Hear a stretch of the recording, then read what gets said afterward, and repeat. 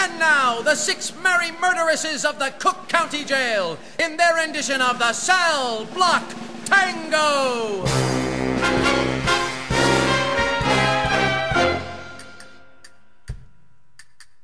Pop. Six. Squish. Uh-uh. Cicero. Lipschitz. Pop. Six. Squish. Uh-uh. Cicero. Lipschitz. Pop. Six. Squish. Uh-uh. Cicero. Lipschitz. He had it coming. He had it coming. He only had himself to blame.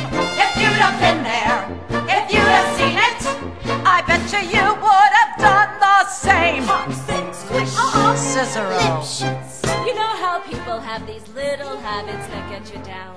Like Bernie. Bernie liked to chew gum. No, not chew. Pop. Well, I came home this one day and I am really irritated and looking for a little sympathy. And there's Bernie laying on the couch drinking a beer and chewing. No, not chewing. Popping. So I said to him, I said, Bernie, you pop that gum one more time. And he did. So I took the shotgun off the wall and I fired two warning shots into his head. He had it coming.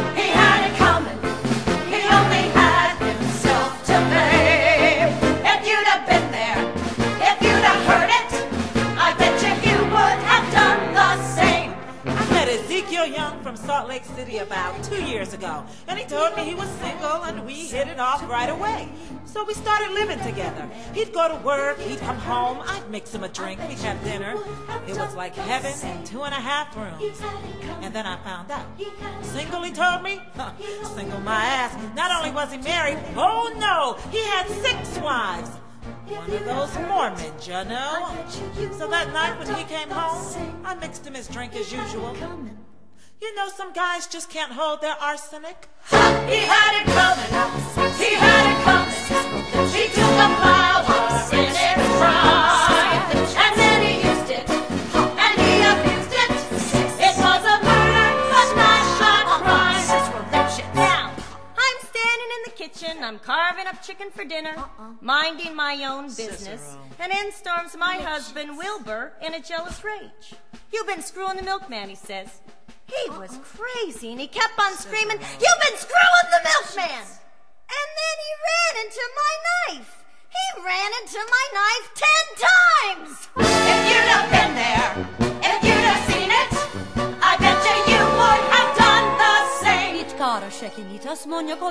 Lat kum lo fort kara feje met de megla chotte ma fajet. De nemikos ein atat klung fajok, nem tu de memonia ankel sama wen tetem. Frabalta ma rende shegen me me rasni de nem etatak meg. Yeah, but did you do it? Uh-uh, not guilty. My sister Veronica and I did this double act, and my husband Charlie used to travel around with us. Now, for the last number in our act, we did 20 acrobatic tricks in a row. One, two, three, four, five. Split, spread eagles, backflips, flip flops, one right after the other. Well, this one night we were in Cicero, the three of us, sitting up in a hotel room, boozing, and having a few laughs, and we ran out of ice, so I went out to get some. I come back, open the door.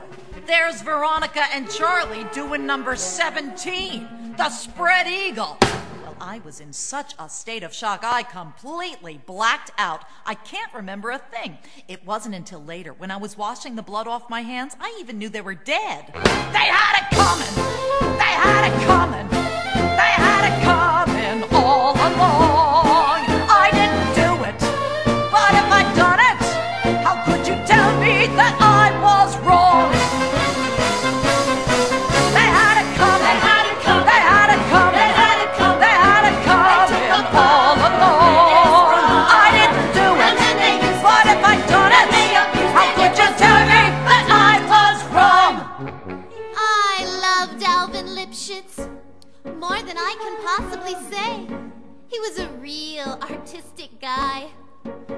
Sensitive, a painter, but he was troubled. He was always trying to find himself. He'd go out every night looking for himself. And along the way, he found Ruth, Gladys, Rosemary, and Irving. I guess you could say we broke up because of artistic differences. He saw himself as alive, and I saw him dead. The dirty bum, Bum, bum, bum, bum, the dirty bum, bum, bum,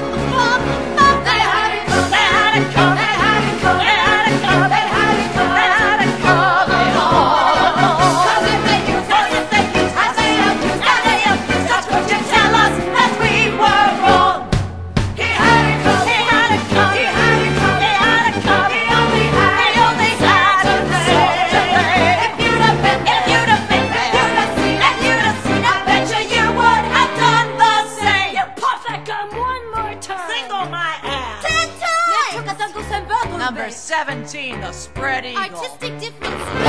I betcha you would have known.